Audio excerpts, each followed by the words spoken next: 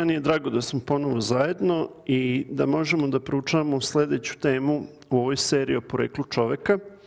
Ja sam rekao, generalno tema je izuzetno značajna za svakoga od nas, jer odgovor na pitanje o našem poreklu kao vrsti e, ujedno definiše i naš život.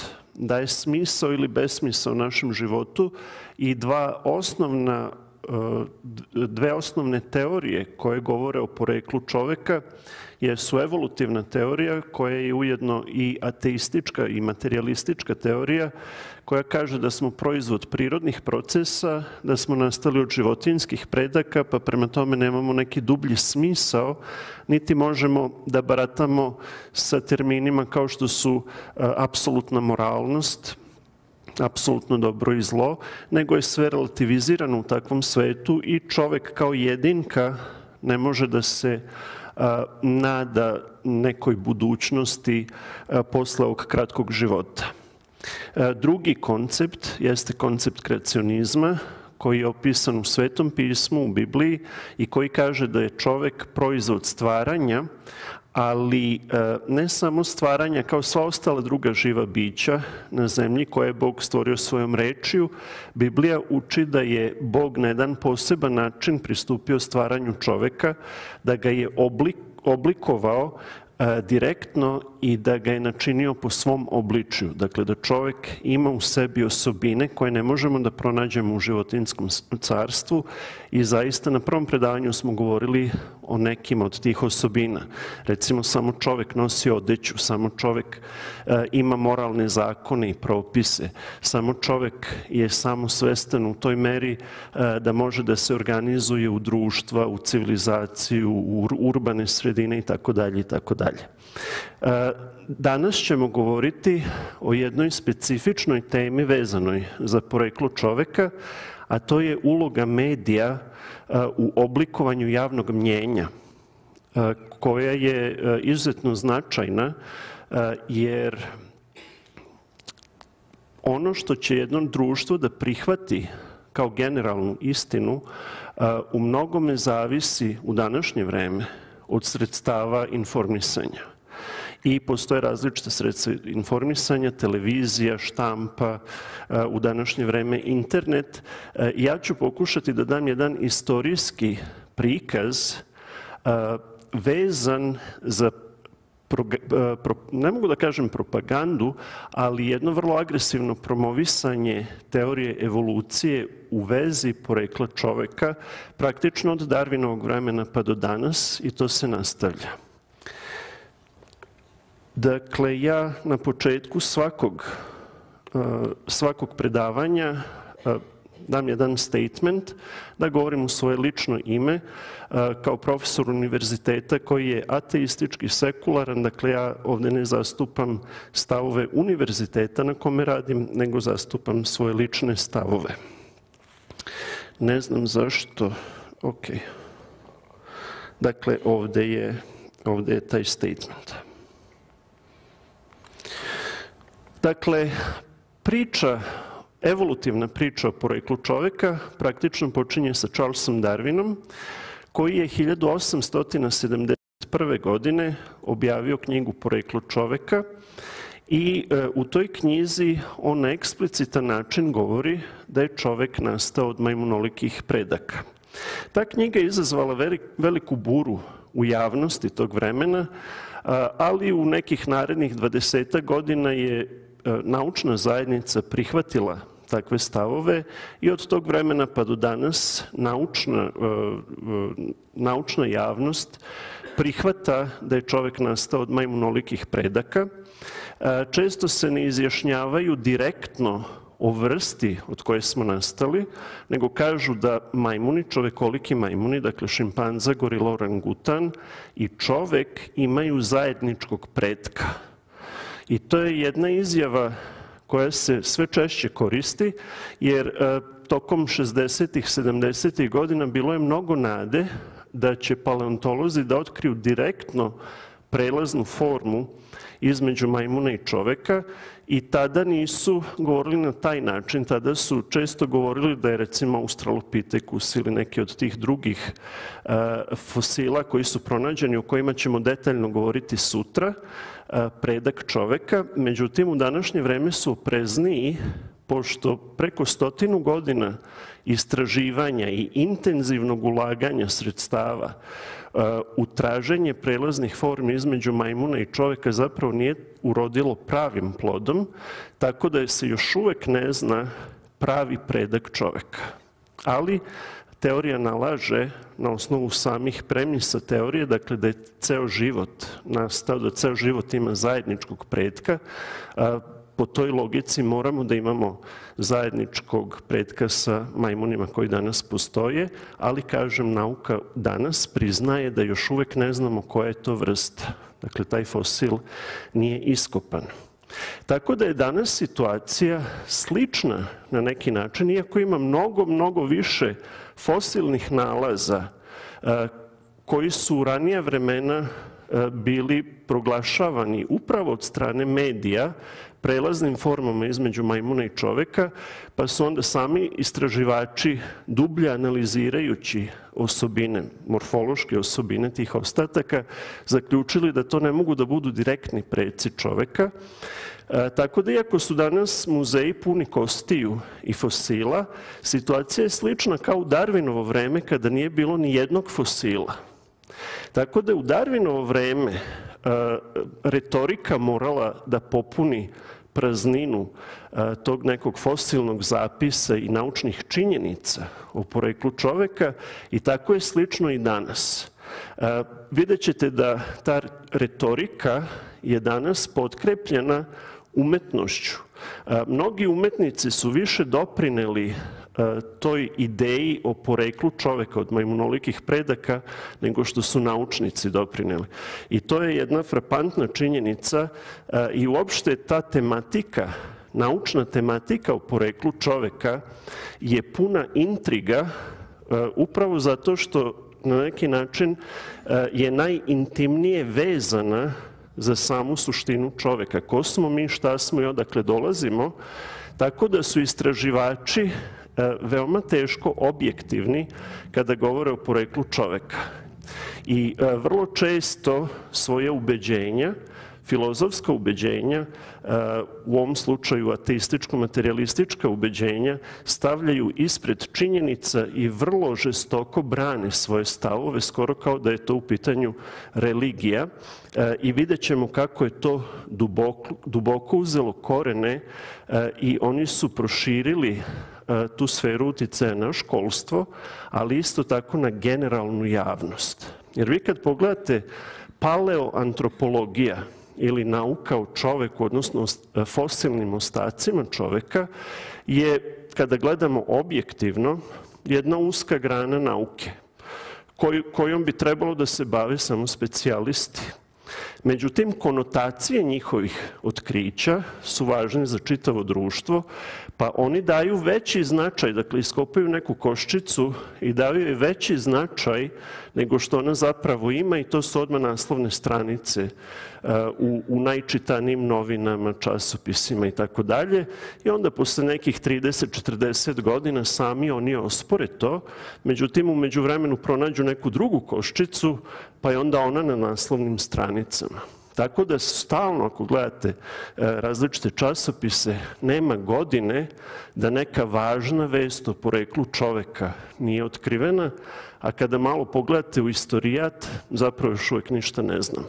Dakle, to je jedna medijska presija koje je čovečanstvo izloženo i onda kada vi niste stručnjak u oblasti, mislite pa stalno otkrivaju nove fosile, ovo se sad sve zna o poreklu čoveka, a ne znate da zapravo tim bombardovanjem informacijama prikrivaju činjenice da zapravo nemamo pojma o poreklu čovjeka, nemamo činjenice, nemamo materijalne zapise koji bi direktno dokazali koji je to fosil predak čoveka.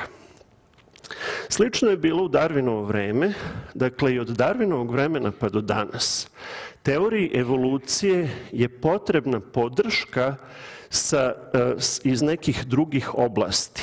Ljudi često ne znaju da je Darwin objavio više radova, dakle ovo je jedna lista, e, pokušaj nije da, da sad pročitate sve reference, ali čisto da vidite obim Darwinovog rada u oblasti geologije. Dakle, Darwin je objavio više radova iz geologije nego što je objavio radova iz biologije. Razlog za to je da bi teorija evolucije mogla da funkcioniše, potrebno je dugo vreme, dugi vremenski periodi. A geologija Darwinovog vremena još uvek nije utvrdila da je Zemlja jako stara. I zbog toga su ljudi prvo stavili svoju veru, slično kao Hekel, sećate se, govorili smo o Ernstu Hekelu na prethodnim predavanjima, on je prvo svoje ubeđenja stavio ispred činjenica.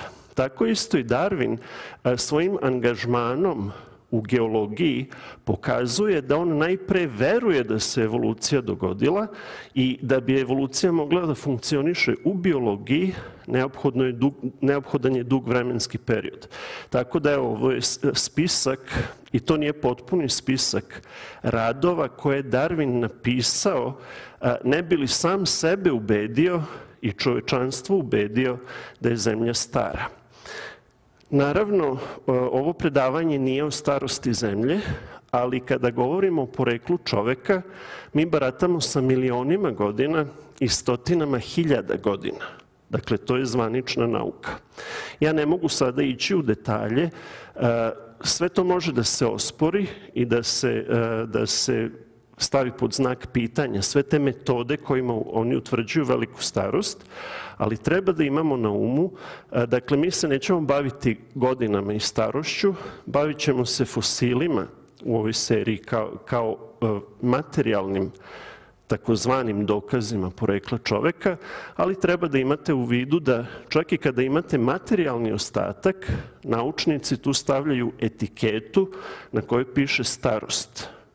I ta starost, e, sama ideja o starosti tih fosila je isto tako izmanipulisana počevši od Darwinovog vremena pa do danas. Dakle, vidimo da forsiraju staru zemlju, da forsiraju stare fosile i nemojte prihvatati zdravo za gotovo kada vam neko kaže ova koska je stara 2 miliona godina. Najprostija ljudska logika može da vam kaže da to nije baš tako. Kada pogledate piramide u Egiptu, koje su građene od kamena pre samo 4000 godina, one još uvek stoje, ali vidite eroziju na njima za 4000 godina. A znate koliko je 4000 godina manje od 2 miliona godina? A oni veruju da su te koske koje su isčeprkali izdržale 2 miliona godina erozije. Dakle, sama logika tu, e, tu ne funkcioniše. Ali mi ćemo se e, večeras usrediti dakle, na medijsku kampanju e, same rekonstrukcije tih fosila. Jer često, skoro uvek, fosili koji su pronađeni nisu kompletni. Dakle, to su neke kosti, u nekim slučajevima jedan jedini zub. Mi ćemo sutra govoriti nešto više o tome i na osnovu jednog zuba pokušaju da rekonstruišu čitavu životinju. E, bio je slučaj u Severnoj Americi, iskopan jedan fosilni zub i nazvali su ga Hesperopithecus, e, vrsta čovekolikog majmuna i kasnije se pokazalo da je to svinjski zub. Pošto je čovek svašto jed, kao što i svinje, imamo vrlo slične zube, kutnjake, tako da su zamenili, dakle, u tom žaru da otkriju predke čoveka, e, protumačili su svinski zub e, kao, kao čovekoliki zub i onda su na osnovu tog jednog zuba napravili rekonstrukciju čitave vilice, pa na osnovu vilice rekonstrukciju čitave lobanje, kakvi treba da su mišići koji su prikačeni na, na tu vilicu, pa onda to oblikuje lobanju, pa na osnovu lobanje čitavo telo.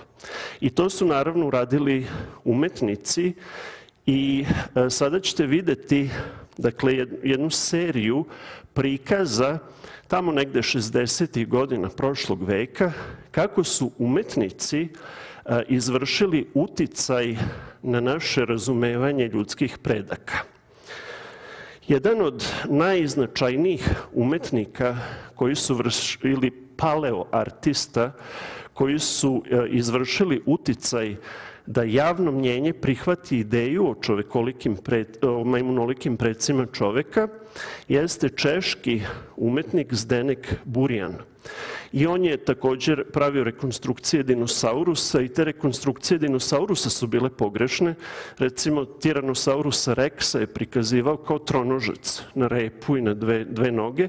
Kasnije fiziološka istraživanja su pokazala da je T-rex koristio rep kao balans, a da je hodao na dve noge kao noj. E, tako da su umetnici, dakle, od uvek dočaravali taj neki prošli svet, e, mi nemamo vremeplov da se vratimo u njega i značaj umetnika je veoma veliki u toj propagandi e, koja pokušava da edukuje ceo svet da imamo naturalističko poreklo, da imamo poreklo iz životinskog sveta. Dakle, ovde vidimo kako je e, Zdenek Burjan ilustrovao homo erectus ili uspravnog čoveka.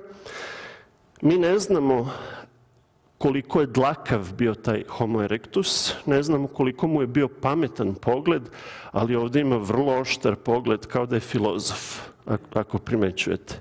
Jer izraz lica, izraz očiju je jako bitan kada pravite portrete I ovde je poruka, ta subliminalna poruka gledaocu da je to životinja u kojoj se budi ljudski intelekt. Kako je on mogao to da zna? Dakle, to je čisto izmanipulisano. Druga stvar, taj homo erectus drži kameno oruđe u svojoj ruci. Kako mi znamo kada se iskopa kameno oruđe, koje biće ga je koristilo? Kako mi znamo da to nisu bili ljudi kao današnji ljudi i da je možda pronađena neka druga koska pored? Jer su ljudi često lovili velike majmune i hranili se njima. Tako da je, e, dakle, vrlo teško prihvatiti ovakve prikaze kao naučne argumente. Praktično je nemoguće ih prihvatiti kao naučne argumente, ali nauka toleriše ovakav pristup sve do današnjeg dana. Ne možemo da osporimo da je Zdenek Burjan bio veliki umetnik. Dakle, ovde je prikaz Australopitekusa. Zaista su lepe te scene koje on prikazao, ali je svaki put u pitanju manipulacija. Danas znamo da Australopitekus e, nije hodao uspravno, kako je prikazan ovde, hodao je isto kao što hodaju šimpanze. Takođe, danas znamo da Australopithecus, i to postoje naučne činjenice koje su otkrivene na osnovu e, zuba koji su proučavani elektronskim mikroskopom, Znamo da se Australopithecus hranio biljnom hranom kao i gorila. Ovde je prikazan kao lovac. Vidite da lovi i da ovde jede ostatke nekog majmuna babuna. Dakle, vidimo koliko je taj umetnički prikaz bio uticajan i uticajan je sve do današnjeg dana. Dakle, mi ćemo proći ukratko kroz tu istoriju.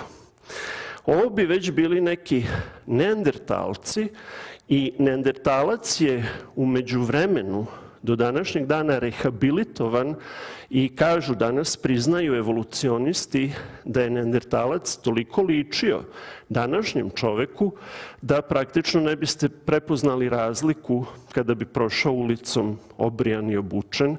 E, jeste njihova lobanja bila malo drugačija, ali su prikazivani, dakle, majmuni kao australopitekusi su prikazivani sličniji ljudima nego što su bili, a neki ljudi su prikazivani sličnijim majmunima nego što su bili i onda je izgledalo i danas izgleda kao da je ta provalija između majmuna i čoveka mnogo manja. Ali je ispunjena samo maštom umetnika. Ničim više. Kosti su jasno ili majmunske kosti ili ljudske kosti.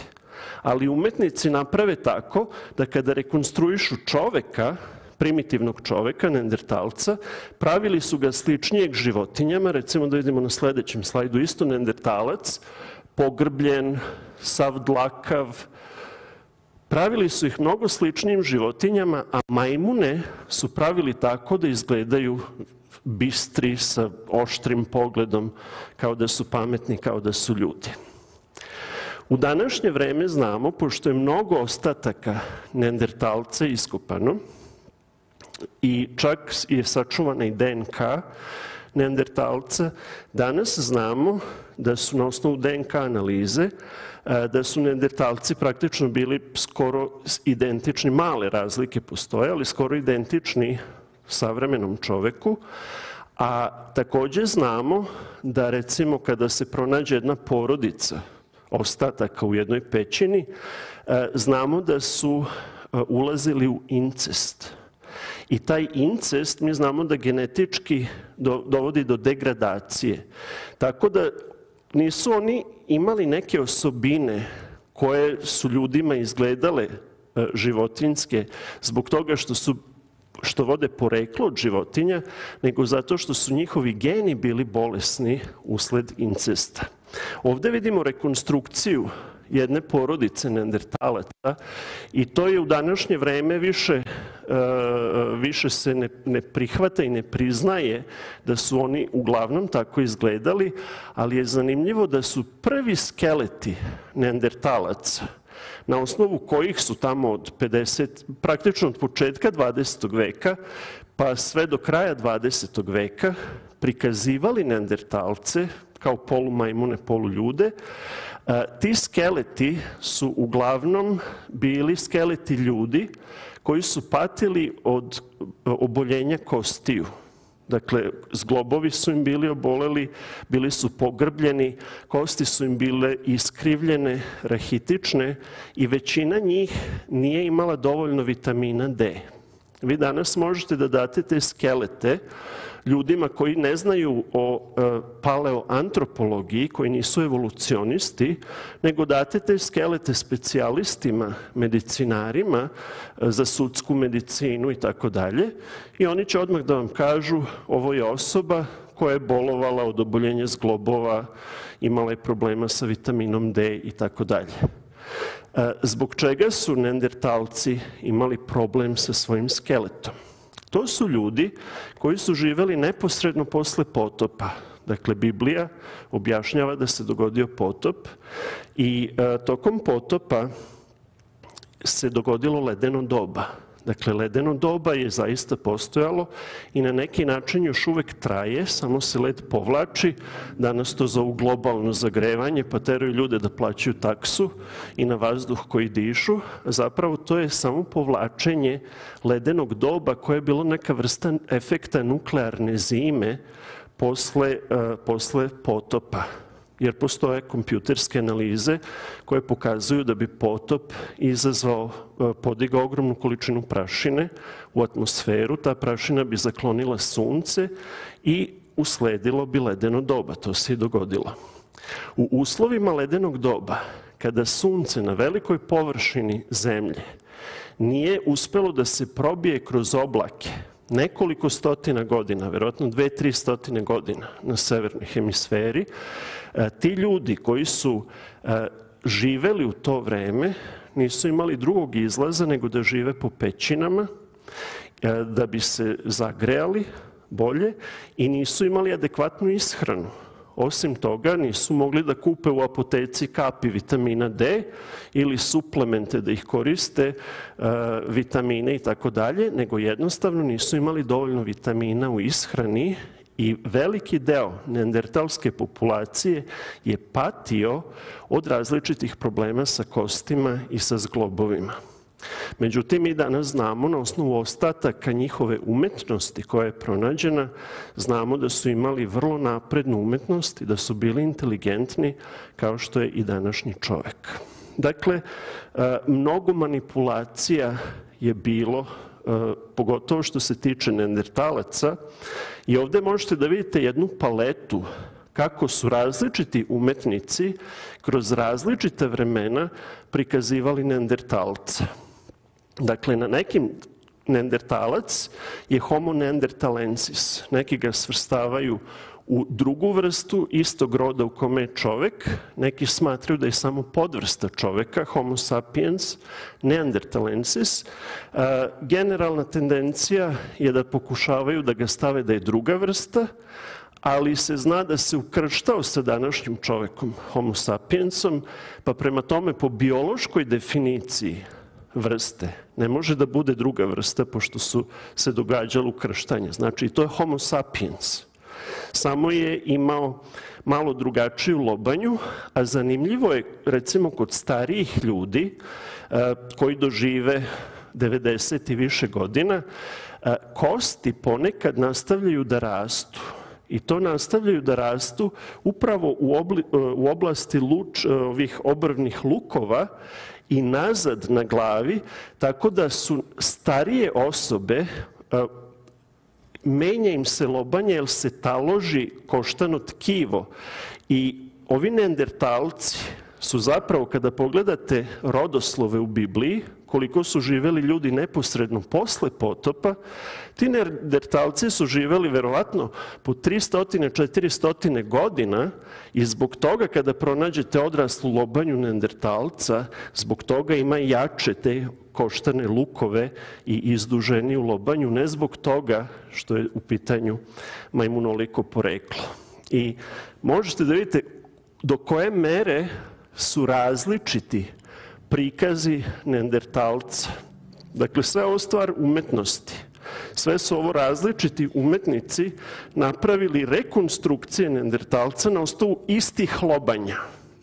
Dakle, ako uzmete jednu te istu lobanju i napravite ovako različite rekonstrukcije, onda je jasno koliko je to precizno koliko je precizna ta rekonstrukcija. Jer evo imate neke slike neandertalaca koji praktično izgledaju kao majmuni i čitavu paletu imate sve do neandertalca. Danas znamo da su imali riđu kosu. Dakle, imali su gen za riđu kosu.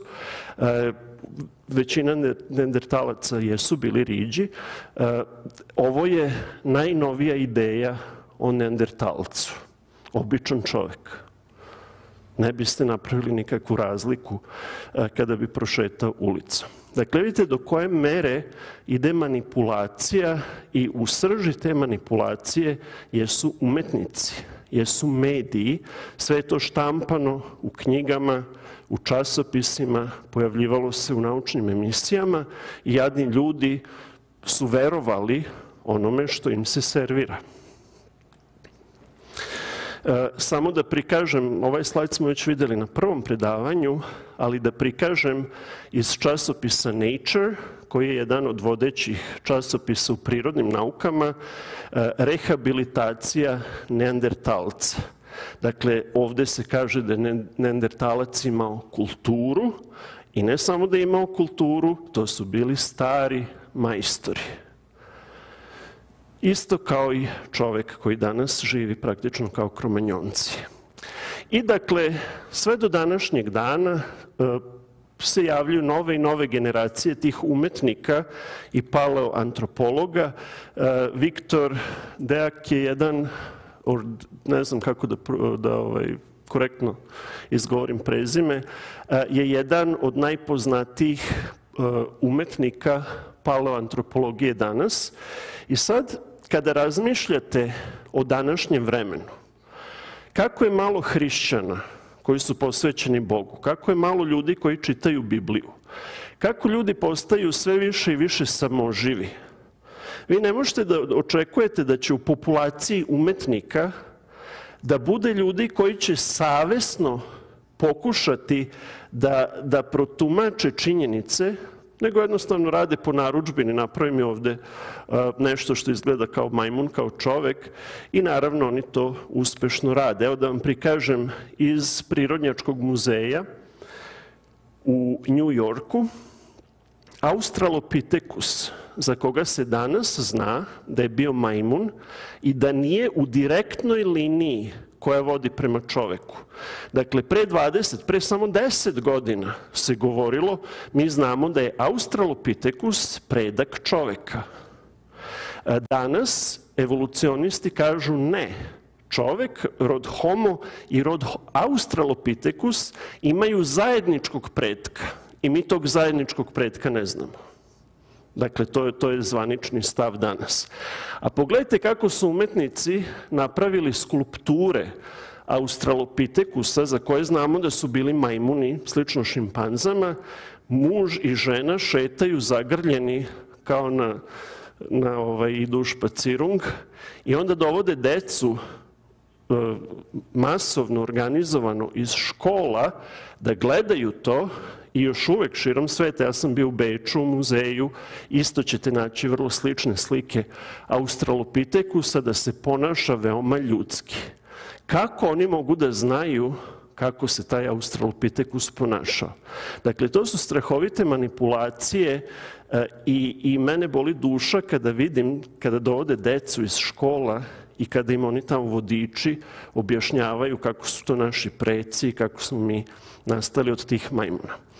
Kada bi ta neistina koju uče našu decu mogla da im donese nešto dobro, pa ajde i da pro progledamo kroz prst. Ali ta neistina koju ih uče, ne znam, recimo kad ih uče o Deda Mrazu, to ipak ima nešto dobro, jer deca budu dobre da bi dobila poklon, jel tako? Ima neke logike, ta laž. Ali ova laž nema nikakve logike. I organizovano uče decu da smo nastali, dakle, vidite kako izgledaju, kao tu se budi čovek u, u, u tom biću, tako smo mi nastali i onda deca posle toga jednostavno ne mogu da prihvate hrišćanstvo, jer dete e, prihvata autoritet, ulazi u tu ogromnu zgradu Prirodnjačkog muzeja gde rade naučnici, gde je sve fantastično i oni im kažu kako smo mi nastali. Zar ćemo da očekujemo da će dete da otvori knjige i enciklopedije i da kopa? Ne, dete upija znanje koje mu dajete. To su strašne stvari. Da vidimo kako medij štampa uh, utiče na, na ljude da prihvate ideju o majmunolikom poreklu čoveka. Dakle, znaju psiholozi da mi živimo u vremenu kada smo uvek zauzeti, nemamo dovoljno vremena i znaju da nećemo pročitati ceo članak. Zato uh, počevši od, od Timesa i svih mogućih velikih časopisa svetskih, svake godine mora da se pojavi bar jedna naslovna stranica na kojoj ćete videti nekog majmunolikog pretka, obično rekonstrukciju koja izgleda prilično ljudski. Nacionalna geografija je jedan od šampiona evolucionizma, koja uči generalnu populaciju evolucionizmu. Evo samo da vidite nekoliko naslovnih stranica, dakle cover page. Jer znaju da ljudi neće pročitati, ali kad, kad kupi časopis, bar da vidi tu naslovnu stranicu, dakle to je reklama na neki način koja utiče na javno mnjenje. I te reklame su pažljivo psihološki dizajnirane da izazovu čoveku efekat, da probude emocije. Pogledajte poglede tih rekonstruisanih životinja za koje zapravo nemamo pojma kako su izgledale. Uvek su to oči koje veoma pametno i inteligentno gledaju na vas, e, dajući vam poruku da su to naši životinski preci u kojima se probudila iskra intelekta i samosvesti čoveka. Dakle, vrlo, vrlo opasne stvari, ja bih rekao perfidne stvari koje se serviraju generalnoj publici. Ovo nema nikakve veze sa naukom. Ovo je čista manipulacija javnošću. Osim nacionalne geografije, dakle, e, praktično postoji isti tretman za sve moguće ciljne grupe – Ovo je nacionalnu geografiju čitaju ljudi, generalna populacija, koji se interesuju za novosti u nauci, za putopise i tako dalje. E, zatim ja nisam ovde stavio, mogu do sutra da vam pokazujem naslovne stranice iz različitih časopisa. E, ali da vidimo za naučnike, Dakle, naučnici u prirodnim naukama uglavnom čitaju dva časopisa, Nature i Science. Nature je časopis Britanske akademije nauka, Science je časopis Američke akademije nauka i svaki istraživač, svaki naučnik ima svoju užu oblast proučavanja i tamo su neki drugi časopisi koje vi usko stručno proučavate. Ali s vremena na vreme da biste bili u toku, većina naučnika pročita Science i Nature ili bar prelista. I na tim naslovnim stranicama ja sam izvukao samo iz poslednjih desetak godina, na tim naslovnim stranicama ćete uvek videti istu priču. To je uvek bombardovanje javnog mnjenja sa idejom o majmunolikom poreklu čoveka. Ovo su nekoliko naslovnih stranica iz Nature-a iz poslednjih godina, a ovo su naslovne stranice iz Science-a. Dakle, samo nekoliko poslednjih godina, skoro svake godine, vrlo teško je promašiti godinu da jedna naslovna stranica nije o, o, o precima čoveka. I ako razmislite, još uvek ne znaju ko su preci čoveka, znači zaista nema, što bi rekli englezi, groundbreaking discoveries, ali svaku kosku koju pronađu odmah stave na cover page. I vi ste preko noći popularni uh, i onda se posle to zaboravi, ali nema veze. Vi ste postali popularni i sve što usto ide. Dakle, od početka priče o evoluciji pa do danas postoji ta kampanja ali postoji mnogo subtilnija kampanja o kojoj želim da govorim, jer Hollywood je jako bitan za, za formiranje javnog mnjenja, naročito u zapadnom svetu, naročito u Americi, i e, želim da vas provedem kroz neke podatke koji vam najverovatnije nisu, e, nisu poznati. Prvi od tih australopitekusa koji su živeli e, u Africi nisu živeli u Australiji. Australis znači južni, dakle Pitekus znači majmun, Australis južni, to su majmuni koji su živeli južno. Svi su oni živeli u Africi. Prvi Australopitekus je pronađen, uh, pronašao ga je Raymond Dart, uh, australijanac, 1924. godine. Dakle, pre toga se znalo za neandertalce, znalo se za homo erectus ili uspravnog čoveka, ali uopšte se nije znalo o australopitekusu. I čim je australopitekus pronađen, odmah su izmanipul, izmanipulisali priču da je mogao da hoda uspravno i da je jeo meso. I kasnije se tek se pre nekoliko godina pokazalo da, da ni jedno ni drugo nije tačno. Australopitekus je bio tu negde na nivou šimpanze. Ali ono što je zanimljivo u ovoj priči, e, postoji jedan pisac pozorišnih komada i scenarija, Robert Ardrey, koji je e, veći deo svoje karijere proveo u Hollywoodu i na Broadwayu. I on se zainteresovao za priču o Australopitekusu i samo zato što se zainteresovao za tu priču, završio je i neki degree u paleontologiji. I onda je otišao u Južnu Afriku da proučava te australopitekuse i on je taj koji je napisao nekoliko značajnih knjiga 60. i 70. godina koje su prihvatili svi paleontolozi. Dakle, jedan showman sa Broadwaya iz Hollywooda je oblikovao um stručnjaka u oblasti o poreklu čoveka koji su prihvatili dakle, taj koncept da čovečanstvo vodi poreklo iz Afrike. To je taj out of Africa koncept. A pogledajte, inače on je iz Čikaga rodom, a pogledajte ima još jedan čovjek koji je bitan u priči takođe iz Čikaga roda.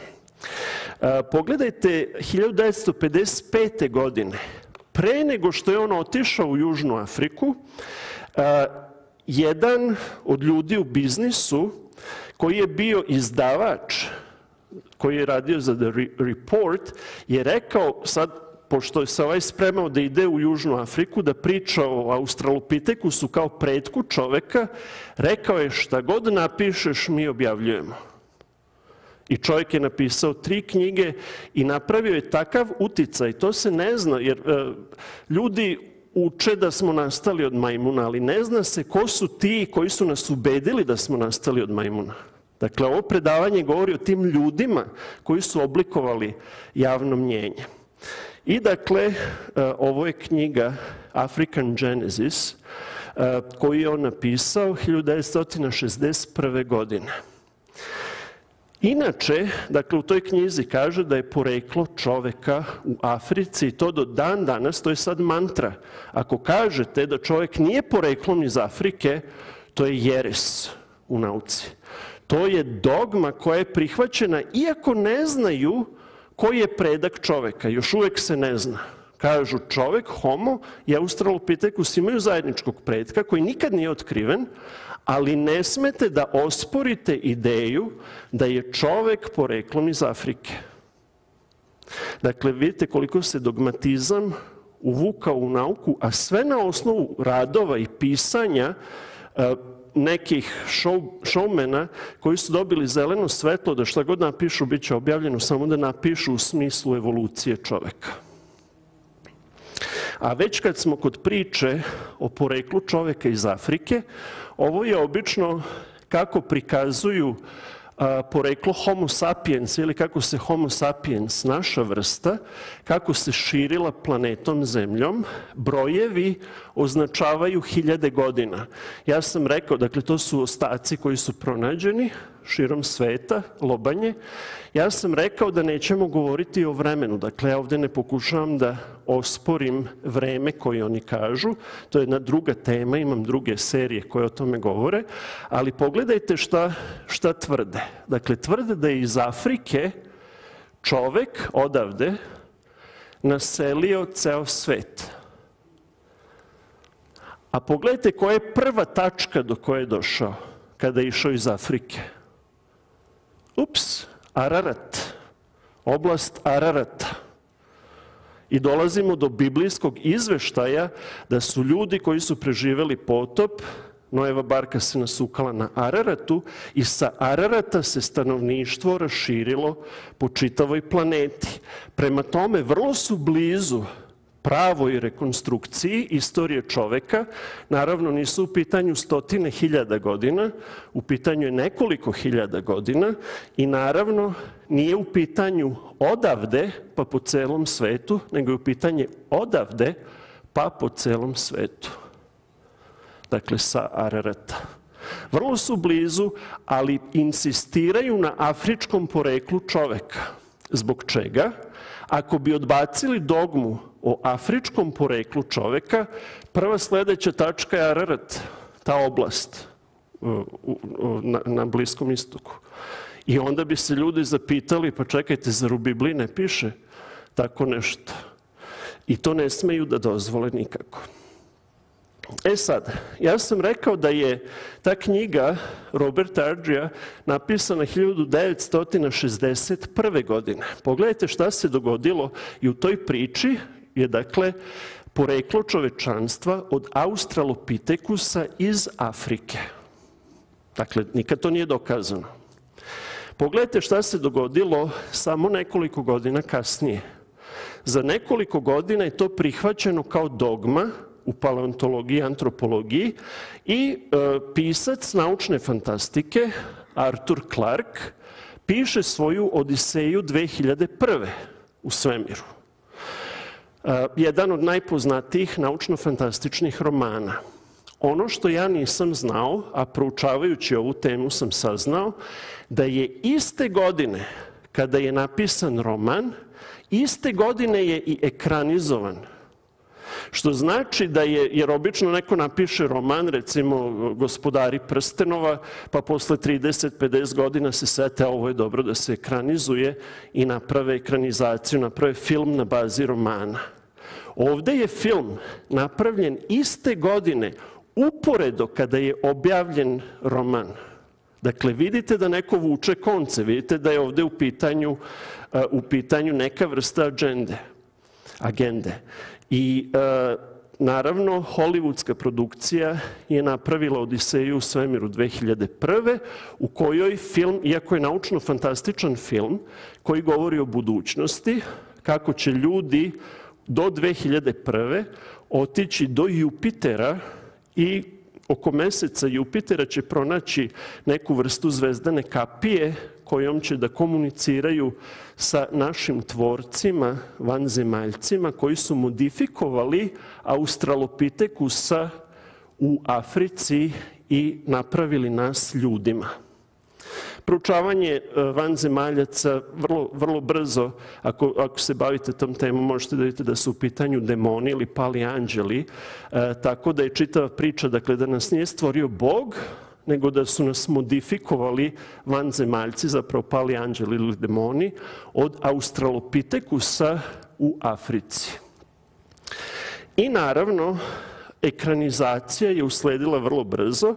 Stanley Kubrick, čuveni režiser, je radio ekranizaciju u kojoj komentatori koji su rekli je tako napravljeno verno taj film da ne možete da kažete da li je stvarnost ili nije stvarnost. To je bilo 1968. godine u vreme kada je Apollo program ispuštanje na, na mesec krenuo. Ja neću ulaziti sada u priče i konspiracije o tome da li su ikada ljudi bili na mesecu, to je jedna druga tema, bavite se time, ali ima jako mnogo podudarnosti ovde. Mislim da je Stanley Kubrick bio umešan u režiranje E, ne samo porekla čoveka, nego i nekih drugih laži koje nam se serviraju. Priča se ovde ne završava. Dakle, ja ću se vratiti na, e, na priču o majmunolikom poreklu čoveka i Odiseji 2001. i uh, Jupiteru i značaju Jupitera. Inače, planeta Jupiter nosi ime uh, božanstva, rimskog božanstva. A da vidimo sada još kako je Hollywood. Dakle, to je početak ozbiljan početak hollywoodskog angažmana, jer se primetilo da ljudi idu gledaju filmove na televiziji, ljudi gledaju filmove i Hollywood je postao jako bitan u kreiranju javnog mnjenja. I da pogledate, pogledajte sada angažman filma i televizije u oblikovanju mnjenja po pitanju ljudskog porekla praktično za sve uzraste. Ovde, je, ovde su tri filma koji su poznati i bave se ljudima iz kamenog doba, crtači za decu. I sve to zabavno, fani, vi to gledate. Ovde ovaj Captain Caveman je prikazan kao neka vrsta superheroja. Zatim svi znamo Flintstone, jer tako i najnovija verzija Croods. To su sve naši preci. U svim tim filmovima, kada ih odgledate, postoje subtilne poruke koje nam ukazuju da smo nastali od životinskih predaka. A možemo da okrenemo priču i u drugom smeru. Dakle, da vidimo filmove koji su nam sigurno poznati, Planeta majmuna. U filmovima Planeta majmuna, prvi film je davno snimljen, pa su onda napravili remake i čitavu seriju filmova. E, u toj seriji filmova Planeta majmuna su ljudi e, doveli do nuklearnog rata i u tom nuklearnom ratu su ljudi se unazadili, a eksperimenti koji su rađeni na poboljšanju inteligencije čovekolikih majmuna su doveli do toga da posle nuklearnog rata čovekoliki majmuni prave revoluciju i sad se okreće priča. Ljudi postaju robovi, a majmuni postaju gospodari.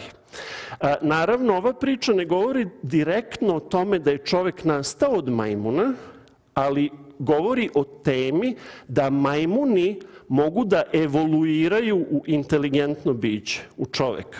Dakle, ovde je poenta na tome da je evolucija moguća. I pogledajte ponovo koji su to, mi kažemo, očni pogledi, kako gledaju bistro ti majmuni, naročito ovde u novim filmovima. Pogledajte kako je to ljutit pogled jednog vojskovođe i tako dalje. Ponovo u ovom slučaju i kompjuterska animacija i ceo Hollywood je ogledaju milioni ljudi. Zamislite kada bi milioni ljudi gledali filmove sa toliko uloženih sredstava, recimo u drugom Hristom dolasku. To bi bila prava stvar? Ali nema ko da uloži 100 miliona dolara. A i da ima, nema ko da distribuira filmove, jer imaju čitavu mrežu. Ja ću se vratiti na priču o Hollywoodu u oblasti dok, dokumentarnih filmova. Na kraju e, i u naslovu ima tri dame, dakle vidjet ćemo ko su te tri dame i zašto, ali ukratko da vam kažem o drugom čoveku koji je rođen u Čikagu, Donald Johansson. E, on je jako značajan zato što je 70. godina, mislim 1974. godine, u Etiopiji otkrio novu vrstu australopitekusa koja je bila manja od drugih australopitekusa. Ovde vidimo skelet koji je pronađen i u to vreme je to eksplodiralo kao bomba. To je bila ja, uh, vest u čitavom svetu da je konačno otkriven predak čoveka. U to vreme su svi verovali da je ovo predak čoveka i ovo su sad novi, dakle, novi snimci. Ja imam snimak istog skeleta iz 80. godina iz časopisa Galaksija i kada uporedite snimak, nešto mi nije jasno tu. Dakle, iskopan je 1974. godine, sada izgleda ovako, a 74. izgleda ovako. Kad prebrojite koliko rebara ima, tu su nešto dodavali. Nije baš isto kao što je bilo. Dakle, ovo je originalno iz 80. godina galaksija. Moj, moj tata je to kupovao i skupljao. To sam uslikao. Tu su dodavali neke koske, malo da ga, malo da ga kompletiraju. I sad, kako su nazvali tog našeg predka? U pitanju je ženka i to je naša pramajka. Dakle, Dugo vremena je ta priča važila kao istina, da je to naša pramajka. Ovde vidite rekonstrukciju te naše pramajke. Nije bila dlakava, dakle ima lice kao čovek, ali izgleda majmunoliko i dali su joj ime Lucy, što je tepanje Luciferu. Lucy je Lucifer, tepanje.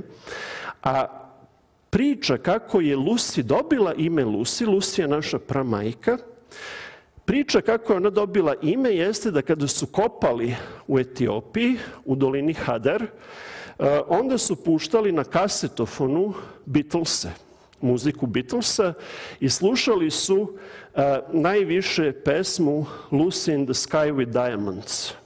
E sad, ja nisam stručnjak za muziku, ali postoje hrišćani koji su stručnjaci za muziku i možete da nađete na internetu o čemu zapravo ta pesma govori govori o Luciferu koji je na nebu i koji je okićen dijamantima. Postoji jedan tekst u Bibliji, mislim u Isaiji, koji govori da je, da je, da je Lucifer bio okićen dragim kamenjem i tako dalje. Dakle, po Luciferu smo dobili ime, malo ko to zna. Lusi, nije to Lucifer, to je Lusi. I to je naša pramajka. Dakle, nije nas stvorio Bog, nego smo evoluirali, ali smo evoluirali od Lusija. Tek da se zna. I ono što je zanimljivo u čitavoj priči jeste da je 2013. godine NASA napravila misiju na Jupiter, dakle jednu sondu koja je otišla na Jupiter da proučava asteroide ili kamene gromade koje lete zarobljene u gravitacionom polju Jupitera i ta misija na Jupiter je takođe dobila ime Lucy. I vidite čak u amblemu, dakle ovo je nasin amblem, u obliku dijamanta, Lucy, dakle misija Lucy, ovo je ta sonda koja je išla na asteroide, vidite ostatke Lucy. Ovo je Lucy. Dakle, do koje mere E, idu sa tom simbolikom i ljudi uopšte nisu, nisu svesni o čemu se radi. A zašto su potegnuli Lusi u čitavoj priči?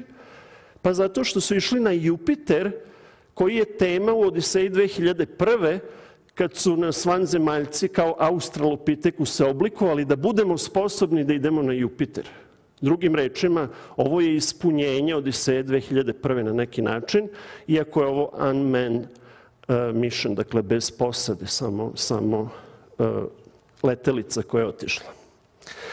I sada da na kraju kažem nekoliko reči o te tri dame koje su u oblasti nauke i to biologije ponašanja e, dale veliki doprinos ubeđivanju ljudi da smo nastali od majmuna.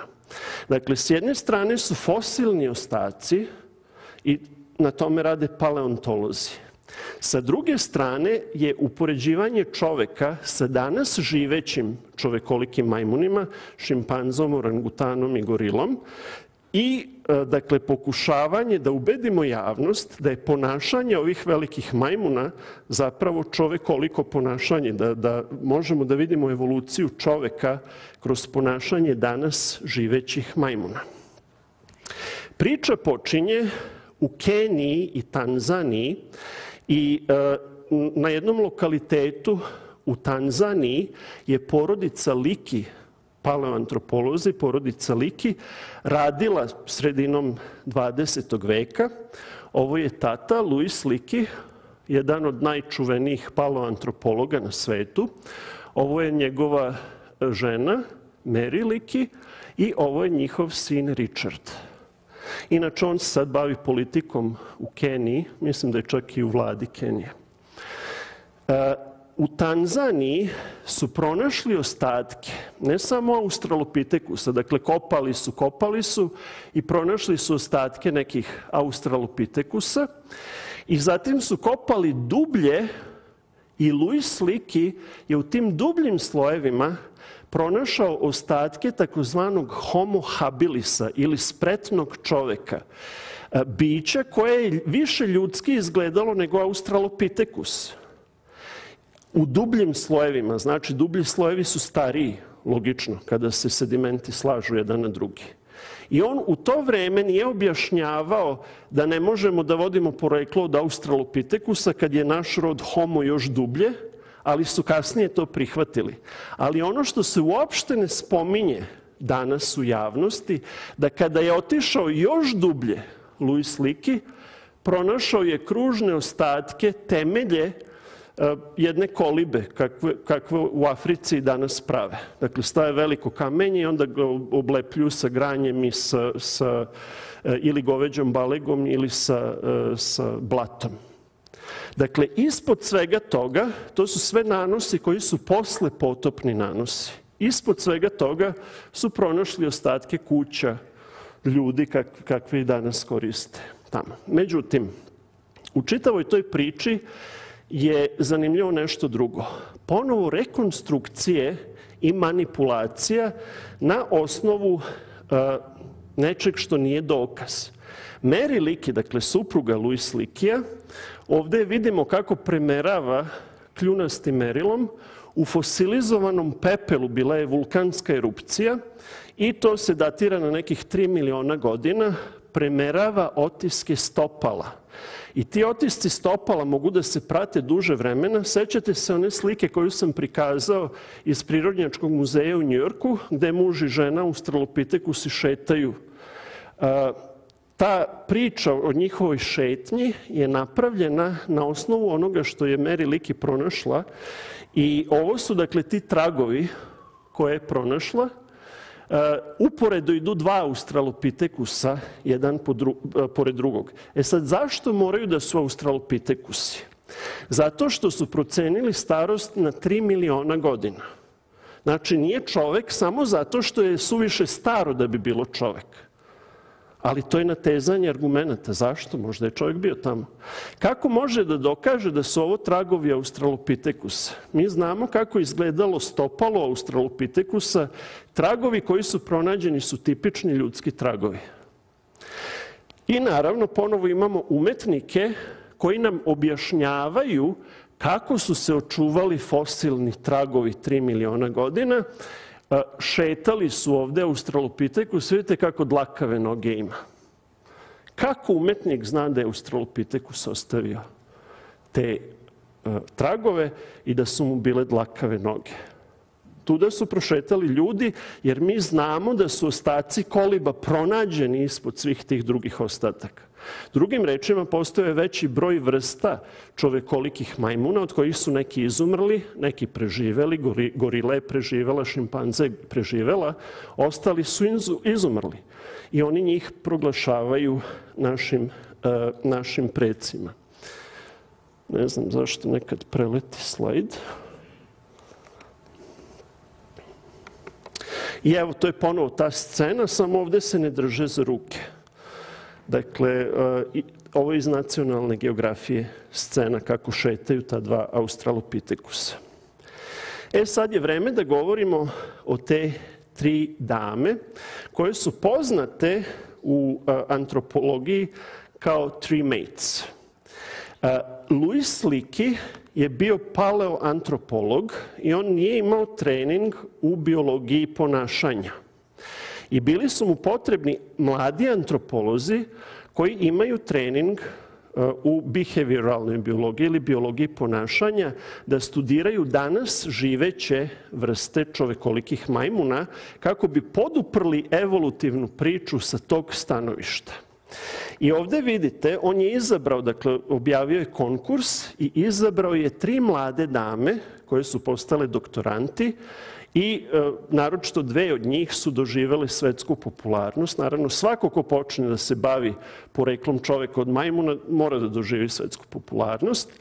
E, ovo su te tri dame. E, dakle, ovo je Jane Goodall. Čuli ste verovatno za Jane Goodall. Ovde je bila mlada. Ona je, ona je dobila zadatak da proučava šimpanze. Zatim, Diane Fossey, Ona je dobila zadatak da proučava gorile, i to planinske gorile. Nažalost, Diane Foss je preminula, lovokradice su je ubili. Ja se ovde apsolutno ne ismevam ni sa čim naučnim radom, samo govorim priču kako je njihov rad uticao na formiranje javnog mnjenja. Ja ne kažem da su one krive za to i one su bile izmanipulisane. A Diane Foss je dala svoj život štiteći te životinje i proučavajući ih, ja imam duboko poštovanje i za njen rad, i za rad Jane Goodall, i za rad treće od njih, e, Birut Galdikas, ali danas govorimo o tome kako je njihov rad izmanipulisan i praktično je bio naručen od strane Luisa Likija da bi ispunile određenu funkciju. I ovde vidimo, dakle, treću od njih, Birut, koja je radila sa orangutanima u, e, u Aziji. I, dakle, odmah nacionalna geografija na početku njihovih karijera, odma naslovne stranice u nacionalnoj geografiji. Ne znam da li znate šta to znači za, karijere ljudi koji se, koji se bave naukom, kada u takvoj mladosti, praktično dok rade svoj doktorat, postanu, postanu svetski poznate. I naravno, one su proučavale šimpanze gorile i orangutane i otkrile su da, da ove životinje imaju mnogo više intelekta nego što smo mislili. To ćete otkriti ako proučavate konje, to ćete otkriti ako proučavate delfine, ako proučavate pse, ako proučavate mačke. Svi su oni mnogo inteligentniji nego što mi imamo obično uh, spremnosti da prihvatimo. Jer ih je Bog tako stvorio, to su nam bliska bića. Ali to ne znači da su to naši preci. I praktično njihov rad uh, je bio, to ja, ja bih rekao, to je možda prvi reality show u istoriji. Oni su bili istraživači koji su radili, su, njih su kamere non stop pratile. To su stalno išli dokumentarci o njima. Objavljivano u svim mogućim časopisima bilo. Mislim da su one prve bile izložene e, i praktično stalno, ih je pratila javnost u njihovom radu i sve do, sve njihove starosti, naravno koji je doživeo starost, e, nacionalna geografija je nekoliko puta objavljivala cover page sa njihovim radom. Ovde vidimo Jane Goodall pod stare dane. Ovde je šimpanza jedna trebivaške. A, a pošto je Diane Fossey nastradala, o njoj je napravljen film, dakle ponovo Hollywood. Mislim da zaslužuje da, ima, da postoji film o njoj, ali ponovo vidite filmsku industriju koja je uskočila unutra i uh, Simone Weaver uh, glumi Diane Fossey u tom filmu. Birut Galdikas takođe još uvek, mislim da je penzionisana, još uvek uh, proučava orangutana. Od svih njih Jane Goodall je dostigla najviše u svojoj karijeri i postoji čitav institut koji je posvećen njoj sada i dalje dokumentarci koji se pravi, ona se bori za zaštitu životinja i životne sredine. Sve, je to fantastično, dakle ja pozdravljam njen rad, ali ovo priča o tri dame čija, kada čitate te članke iz nacionalne geografije, između redova piše zapravo da smo toliko slični čovekolikim majmunima da nema sumnje da smo nastali ili da vodimo isto poreklo. Dakle, to je poenta. I ta poenta je morala da bude tamo praktično kad su zaposlene. To je verovatno u ugovoru stojalo, da moraju da pronađu to. Uh, uvek je u pitanju uh, tumačenje podataka. Dakle, vi imate podatke i podatak je objektivna činjenica. Ali kako tumačite tu objektivnu činjenicu, to može da bude na dva potpuno suprotna načina.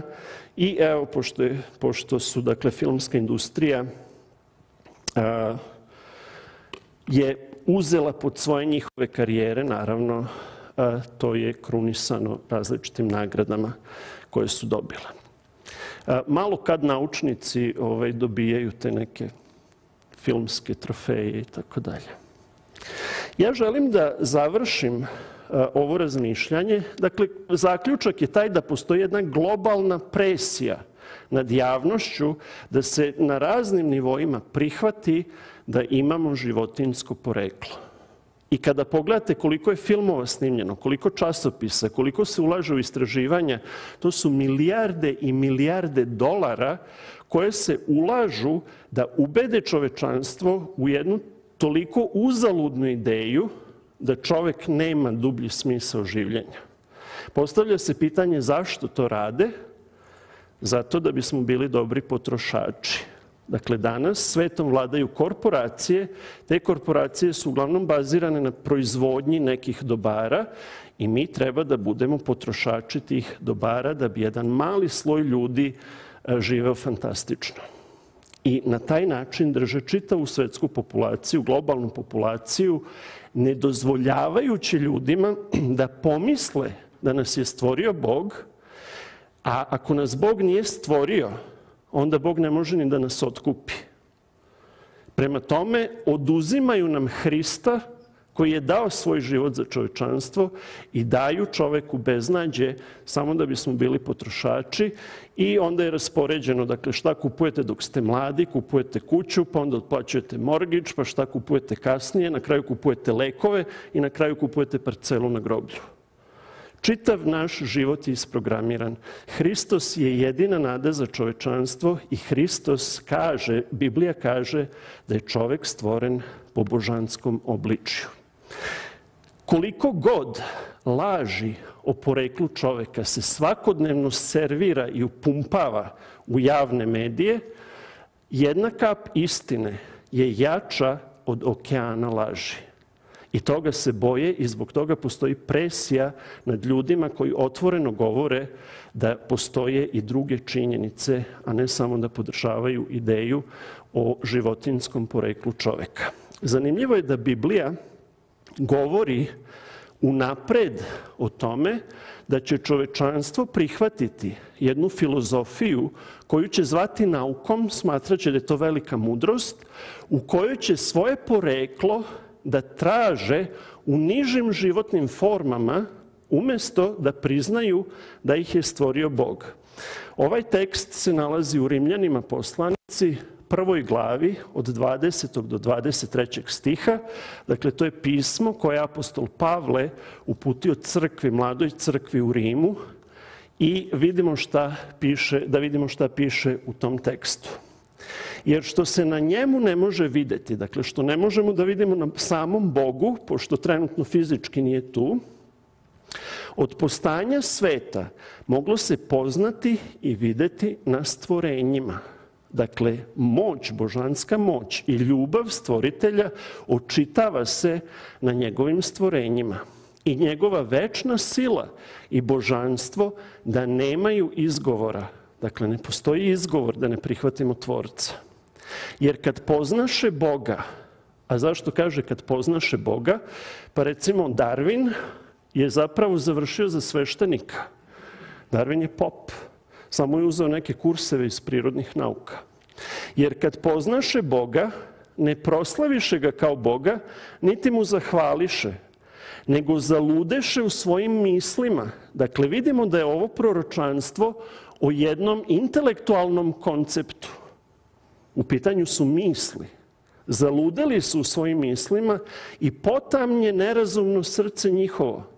Kad se građahu mudri, dakle, to je velika nauka, to su naučne titule i tako dalje, kad se građahu mudri, poludeše i pretvoriše slavu večnog Boga u obličje smrtnog čoveka i ptica i četvoronožnih životinja i gadova. Gadovi su beskičmenjaci. Ovde vidimo, dakle, evolutivni prikaz evolucije od beskičmenjaka, od tih gadova, preko riba i, i kičmenjaka do čoveka. Ovde vidimo ne čoveka kakav je danas, nego i ovde su čak stavili prelaznu formu za svaki slučaj još na jedno mesto. Kada prelistate uh, učbenike biologije, baš me jednom zanima, ja ću da listam na koliko mesta će da stave te čovekolike majmune od kojih ni do danas uh, nemamo ni jedan dokaz da su naši preci. Ja vam se zahvaljujem na pažnju.